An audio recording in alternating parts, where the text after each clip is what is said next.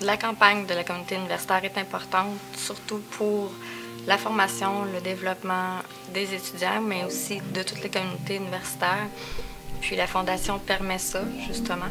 Ma première motivation pour m'impliquer dans la campagne, c'est euh, d'abord et avant tout la fierté de pouvoir m'impliquer dans mon milieu de travail. Une nouvelle expérience à toutes les années parce que euh, Évidemment, il y a la bibliothèque qui profite beaucoup du fonds, mais il y a aussi euh, des étudiants qui vont profiter euh, avec des bourses ou avec euh, des nouveaux équipements pour la recherche et le développement aussi de, de la formation donnée pour les étudiants. Les dons recueillis par la Fondation pour la bibliothèque servent principalement à l'achat de périodiques et de livres électroniques parce qu'ils coûtent extrêmement cher. Oui, c'est important que la Fondation revienne à toutes les années parce qu'elle subvient surtout aux besoins les plus récurrents de l'université, qui sont des besoins assez dispendieux souvent, mais qui profitent, euh, qui profitent très bien pour les étudiants.